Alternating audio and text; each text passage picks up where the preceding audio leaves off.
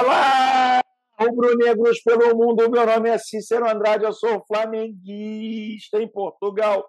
E no vídeo de hoje, portugueses encantados com o novo Mengão de Dorival Júnior. Entrevista reveladora de Felipe Luiz. Milhões na conta do Mengão com a classificação para a Copa do Brasil. Arrasca no Barcelona ou Real Madrid. João Gomes no Liverpool. Roda a vinheta. Flamengo! Se você chegou agora nesse vídeo, curta, compartilhe e divida com seus amigos. Não deixe, por favor, de se inscrever no canal e acionar o sininho para receber notificações sobre os vídeos diários que fazemos sobre o Mengão, suas repercussões aqui em Portugal e na Europa de uma forma geral. Galera, se você ama o Mengão e gosta de acompanhar as notícias todas em primeira mão, como é que você ainda não baixou o OneFootball? É isso mesmo, o OneFootball é o maior e melhor aplicativo de futebol de todo o planeta Terra. Com o OneFootball na palma da sua mão, você tem aqui ó, no seu celular todas as notícias do Mengão. Então, não perca tempo, baixe agora. O QR Code está aqui para você apontar o seu celular e baixar, ou ainda aqui no link na descrição, o link na descrição desse vídeo, no primeiro comentário fixado, no seu celular você baixa agora o OneFootball. Ah, quem aqui na Europa baixou o OneFootball viu Flamengo e São Paulo pela Copa do Brasil totalmente de graça. E vai conseguir ver os dois jogos finais da Copa do Brasil totalmente de graça aqui da Europa. Quem está aí no Brasil vê os jogos da Bundesliga, né, o Bayern de Munique, vários outros jogos totalmente de graça. Então, não perca tempo, meu amigo. Baixe agora o OneFootball. Eu, pessoalmente, não deixo de usar todos os dias o OneFootball. Está na hora de você ter acesso a isso também. Meus amigos, vamos lá, Mengão, Mengão, mais uma final do Mengão, meus amigos. A gente vive é, um momento histórico na história do clube, um time histórico que desde 2019, meus amigos, foram 18 campeonatos, tirando os, do, os de ponto corrido, 18 campeonatos disputados pelo Flamengo. Né? Desses 18 disputados, o Flamengo chegou a 14 finais, meus amigos.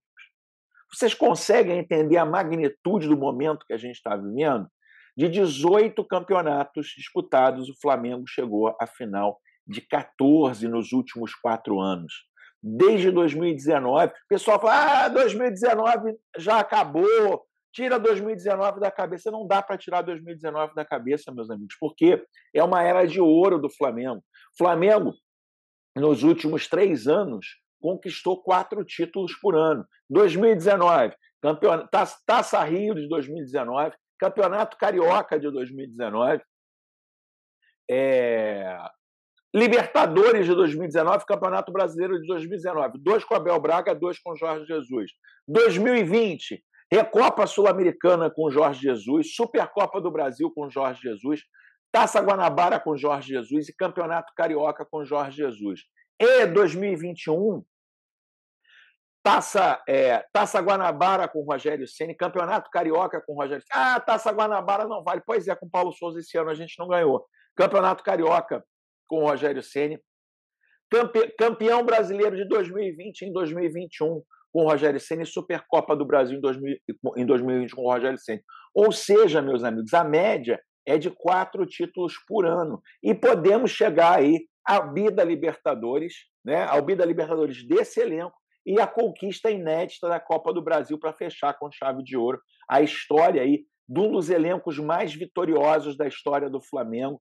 E quem sabe aí ano que vem, em 2023, a gente não leva o Mundial também. Meus amigos, é para comemorar muito e é para enaltecer e para curtir bastante esse time especial do Flamengo que a gente trouxe aí para o nosso dia a dia. Graças a Deus, graças a Deus, a gente tem aí um time que pode, com a conquista da Copa do Brasil, conquistada, com a conquista da Copa do Brasil, chegamos à final ontem com a vitória de 1 a 0 sobre o São Paulo.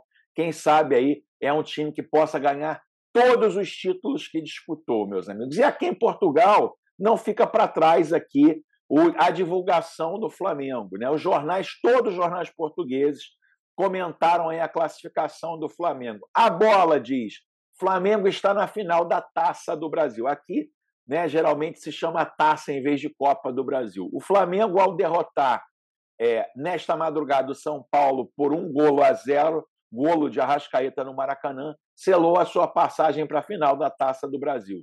O rubro-negro já tinha vencido a primeira mão por 3 a 1 agora guarda o desfecho da partida entre Corinthians e Fluminense. Essa é a oitava taça, é, é, essa é a oitava final da Taça do Brasil do Flamengo. Ou seja, né, a gente tem que equilibrar aí. O jornal Sapo de Esporto também trouxe Flamengo de Everton Cebolinha na final da Taça do Brasil. O Mengão bateu São Paulo por 1 a 0 na segunda mão realizada no Maracanã. O Flamengo, onde joga o ex-Benfica Everton Cebolinha, qualificou-se na madrugada dessa quinta-feira para a final da Taça do Brasil, depois de vencer o São Paulo por 1 a 0. Em um jogo da segunda mão das meias finais da competição realizada no Maracanã, e com um antigo extremo encarnado a entrar a partir do banco, o resultado final estabeleceu seus 36 minutos por Georgian de Rascaeta. Recorda-se que na primeira mão a equipa carioca já tinha triunfado fora por 3 a 1. Resta agora aguardar o segundo finalista do duelo entre Corinthians e Fluminense. A equipa de Vitor Pereira encontra-se empatada em dois golos a meio da eliminatória e vai discutir o acesso à final. Meus amigos, Flamengo é notícia aqui em Portugal praticamente todos os dias, né? E aí, meus amigos, é o seguinte, né? Uma coisa importante, o Dorival recebeu muitas críticas aí em função das escalações. Não é nem das escalações, porque as escalações a galera, quando a, o time reserva do Flamengo vinha ganhando, ninguém vinha criticando, né? Os dois empates aí contra Ceará contra Goiás, o Dorival, por parte, minoria da, da torcida do Flamengo, recebeu algumas críticas aí. E aí, eu gostei muito da análise do Rafael Oliveira.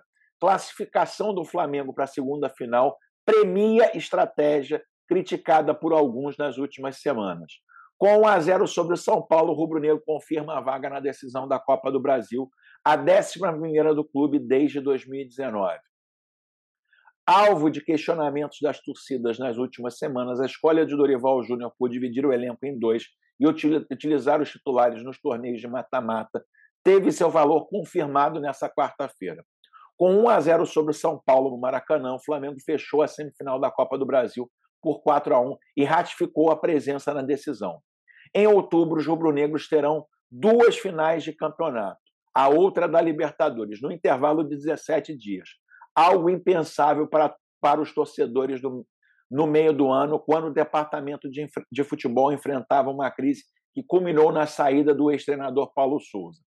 Não é fácil estar na semifinal e finais todos os anos. Esse elenco está conquistando isso, pontuou um Felipe Luiz, um integrante desde o início da era vencedora em 2019. Com mais duas decisões garantidas na agenda, o elenco atual chegará a 11 finais em quatro temporadas. Quatro de Carioca, duas de Libertadores, duas de Supercopa do Brasil, uma de Mundial. Está tá faltando aqui uma da Recopa Sul-Americana, né? Falta uma da Recopa Sul-Americana nessa conta aqui, amigo. Né? Quatro cariocas, duas Libertadores, duas não, três Libertadores, né? São duas, três, então uma mais. Duas Supercopas, não, são, são na verdade são três finais de Supercopas. Então a matéria aí o cara deu uma vacilada, né? Três finais de Supercopas, uma de Mundial de Clubes e uma Recopa Sul-Americana, totalizando 14 finais. 14 finais. Com o detalhe, será a primeira Copa do Brasil, o torneio que ganhou status de única joia que faltava à coroa rubro-negra desse elenco. A Copa do Brasil tem uma importância grande para todos no clube. É uma competição que sempre valorizamos muito nos, muito nos últimos anos, mas não conseguimos chegar à final. Batemos na trave. É para fazer história com a camisa do Flamengo tem que ter esse título sonhado, opinou Felipe Luiz. Meus amigos, é isso que eu digo a vocês aqui. A gente vive um momento histórico na história do Flamengo. Daqui a 20 anos, 30 anos, né, vão se lembrar da, da geração de 19 a 22, como se lembram, como se lembram da geração, da mítica geração que eu fui agraciado de ver da década de 80. Então, a gente tem que ter um pouquinho mais de paciência. Tem uma galera meio histérica na, na internet, gritando, qualquer coisinha, grita, faz, faz barulho. Não, calma, pessoal. Eu, de novo, eu apoio aí.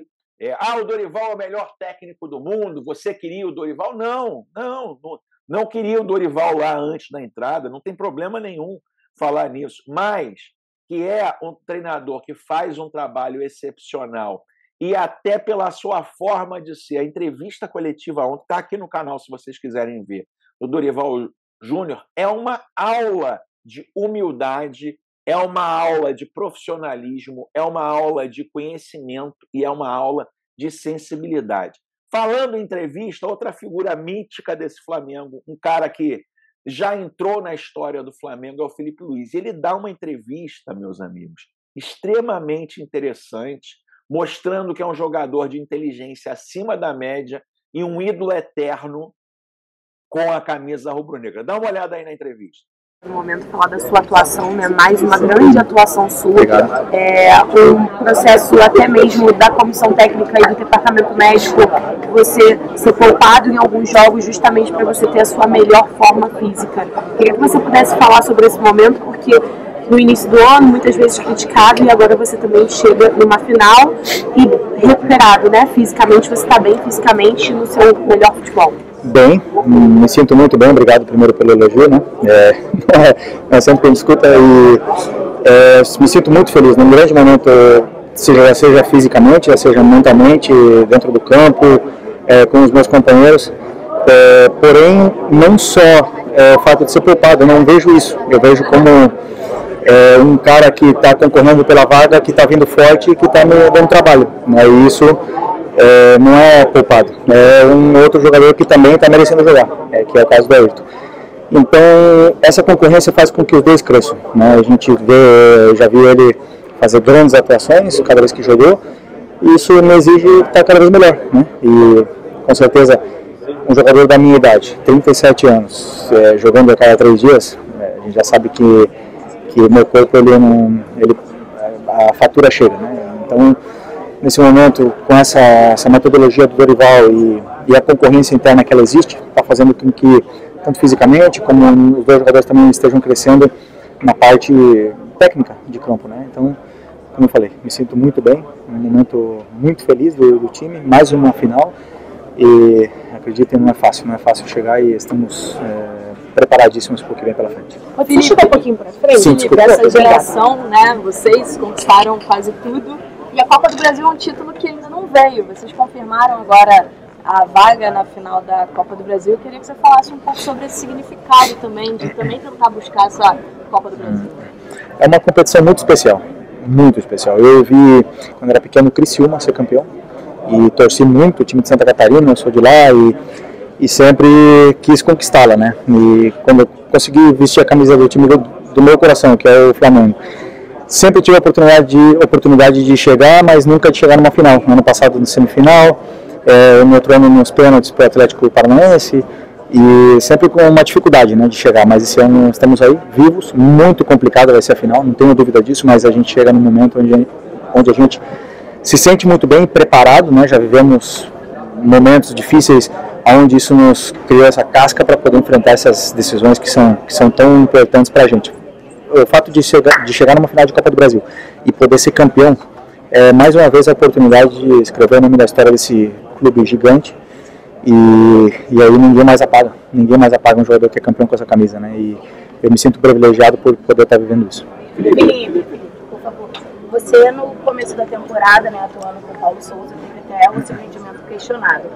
E com o esquema, a estratégia do Dorival, você conseguiu voltar a jogar em plena forma. A gente tem visto a cada jogo seu em campo. E com a lesão do Arana, chegou a se falar o seu nome na seleção. Os olhos ainda brilham em pensar nessa possibilidade?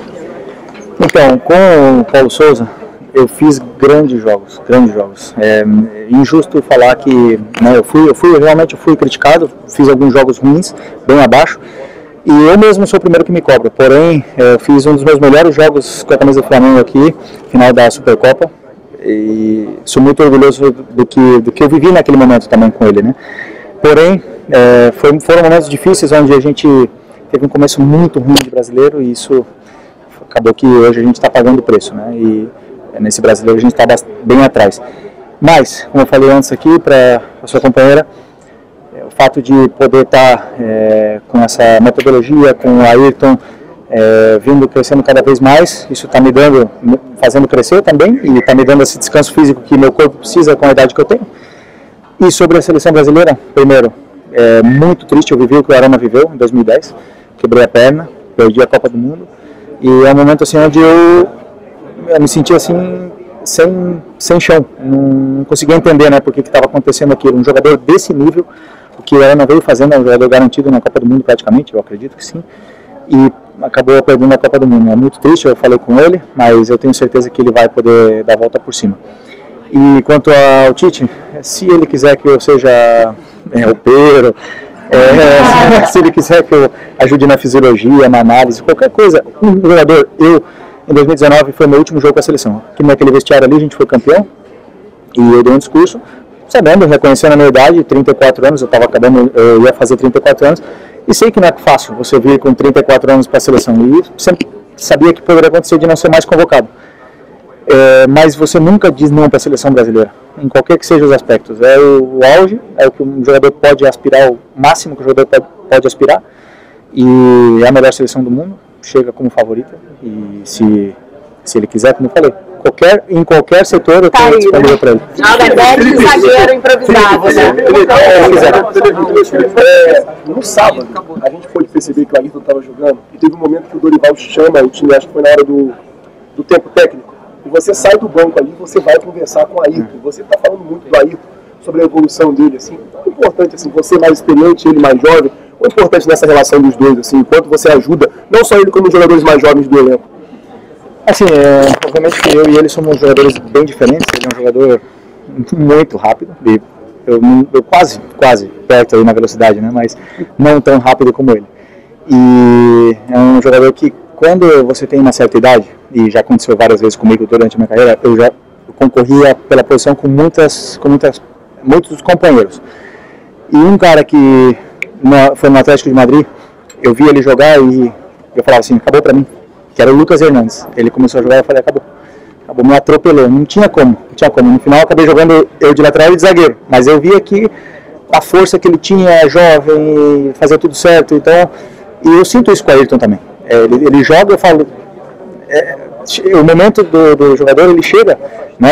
Ele, os jovens eles começam a atropelar os mais velhos, porque eles vêm com mais força, mais velocidade, mais, mais vontade e tudo mais.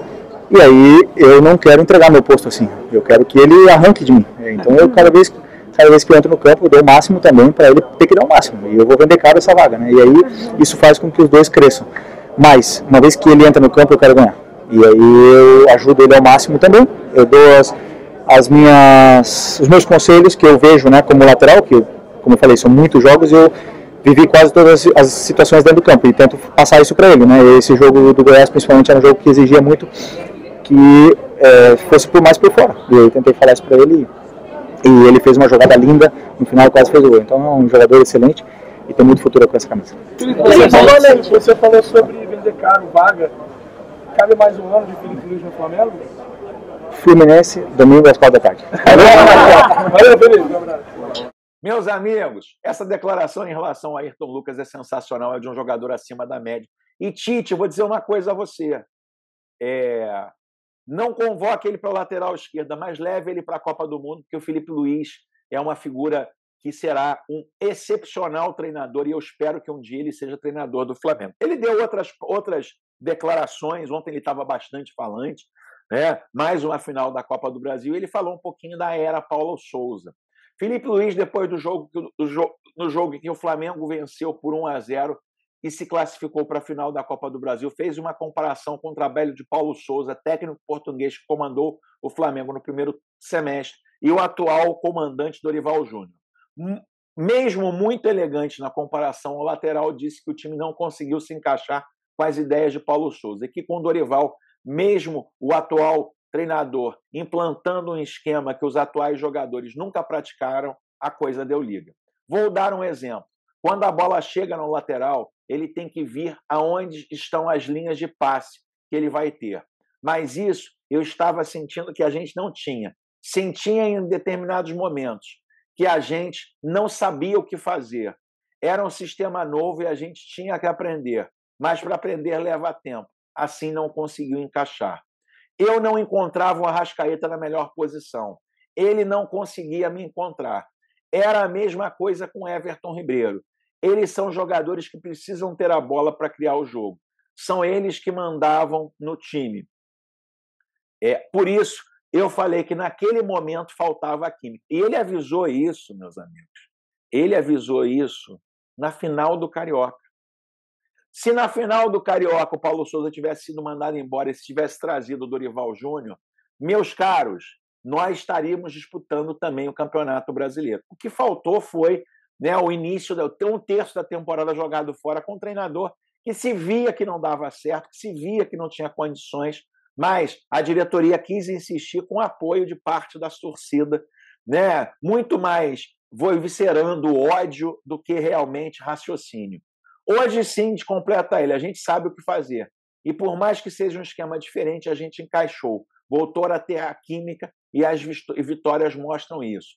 Todo esse ambiente, o Torival trouxe o elenco para o lado dele. E é mérito dele. Pegou um time desacreditado e agora está pagando, é, pagando, pagando o preço. Estamos muito longe do Palmeiras. Né? Essa é a realidade de um mau começo do Campeonato Brasileiro. Ainda aí, né, falando aí em Arrascaeta, o Felipe Luiz também deu uma declaração importante. Um cara que conhece o futebol, um cara que jogou quase toda a sua carreira aqui na Europa. Ele falou o seguinte: Arrasca sobra, é um craque. É muito difícil manter um jogador desse nível no Brasil por tanto tempo. Ele quer continuar aqui também, graças a Deus. Ter essa identificação com o clube e com a torcida. É um privilégio para a gente. Todo mundo sabe que ele poderia estar no Barcelona, no Real Madrid, no Chelsea, diz Felipe Luiz, é, na zona mista. Ele é muito acima da média. Quando a bola vem para mim, eu já vejo onde ele está e acho que os companheiros também fazem isso. Ele é decisivo, principalmente nesses momentos, e é onde ele mais cresce.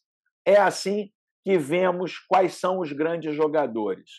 Além do momento artilheiro na Copa do Brasil, a Rascaeta se destaca com assistências. O uruguaio é o meia com mais passes e participação para gols na temporada. Foram 12 bolas na rede e serviu de garçom por 17 vezes.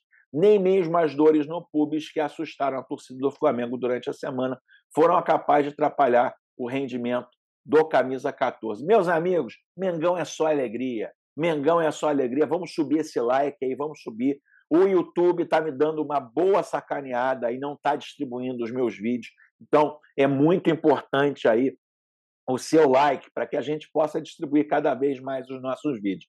E a novela João Gomes Liverpool continua. Agora é o Dessan, meus amigos. O Dessan é que fala de João Gomes é, no, no Liverpool. Velório Vermelho. Liverpool prepara a oferta para brasileiro João Gomes do Flamengo, enquanto Johan Klopp mira o meio-campista.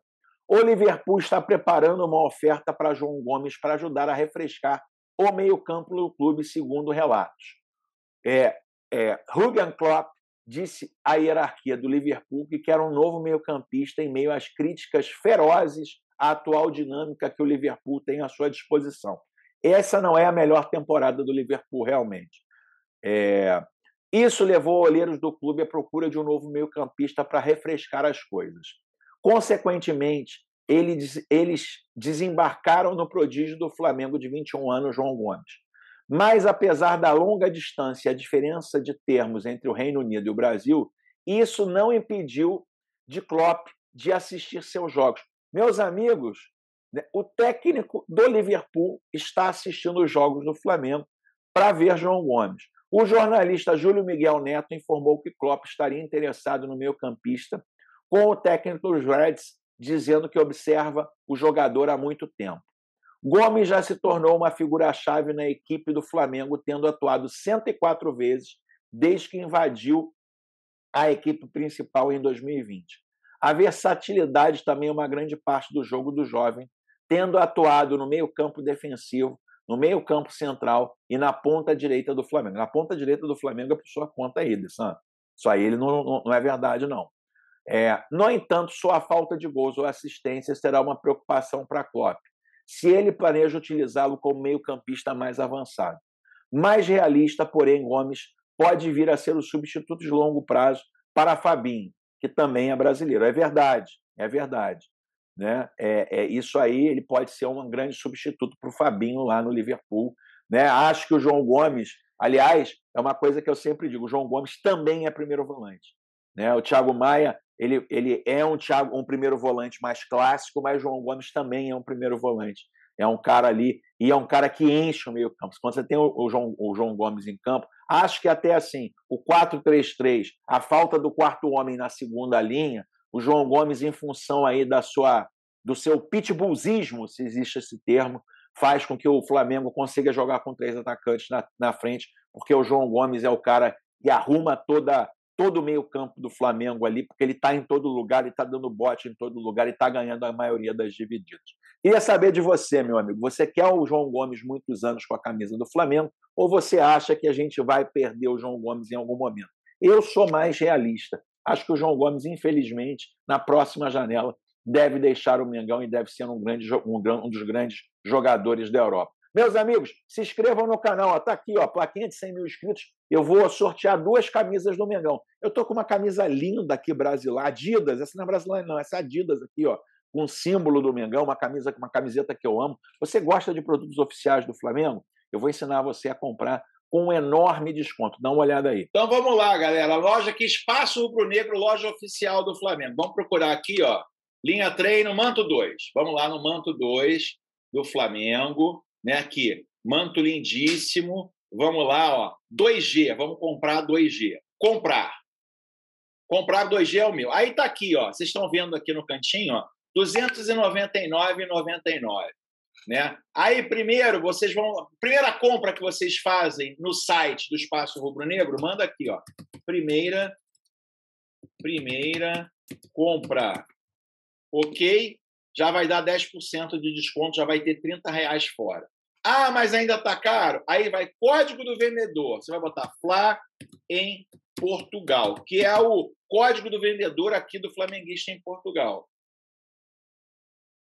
Vamos lá. Ou seja, galera, você é do 299,99, você economiza R$ 43,50. Ou seja, quase 50 reais para ter o manto sagrado novo. Então, o que, que você está esperando? Entra no Espaço Rubro Negro, usa aí cupom de desconto, primeira compra, como eu estou mostrando aqui, ó, código do vendedor flamenguista em Portugal, e você vai ter aí a possibilidade de ter o manto sagrado rubro-negro. Eu, infelizmente, ainda não tenho, mas em breve vou comprar.